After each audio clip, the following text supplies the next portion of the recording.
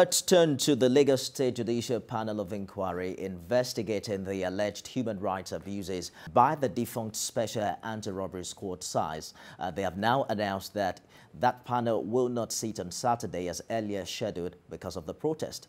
Kemi Foladiemo, who had been covering the sittings, now reports.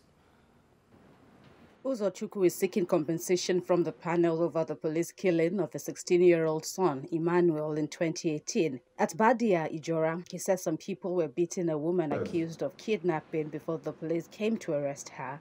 And then, as the crowd moved to the police station, officers shot at them, shooting his son, whom he said was standing nearby.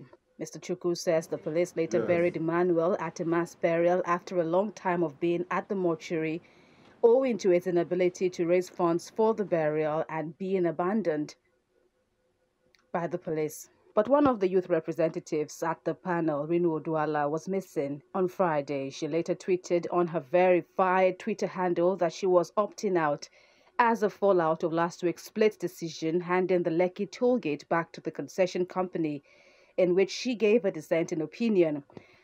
One of her tweets reads, Parties on the panel voted to reopen the toll, citing lost jobs as more important than justice for lost lives, through a proceeding that didn't form a proper quorum without the reps, who represents the youth constituency that birthed the idea of the panel.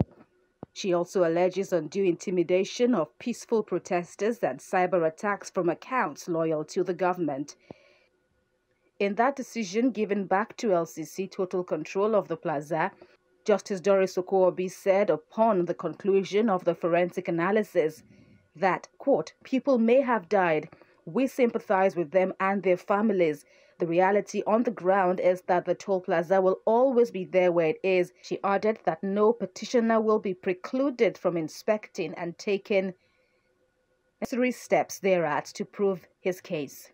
Trust is yet to settle regarding last Saturday's proceedings here at the Lagos Judicial Panel investigating SARS-related abuses and the Lekki Tollgate. Now a group called EIE Project has gone to court showing on behalf of Wonidowo Nifade, whose son was allegedly shot at and killed at the Lekki Tollgate on October the 20th last year.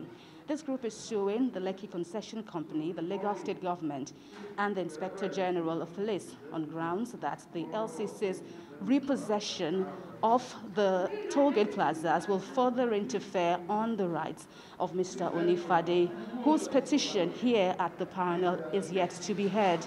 Also, a lawyer representing a group of EndSARS protesters, Adesina Ogunlana, has said that he will be going on to court to challenge the decision of the panel regarding the repossession of the tollgate on grounds of lack of quorum. Kemi Foladiemo, TVC News, Lagos.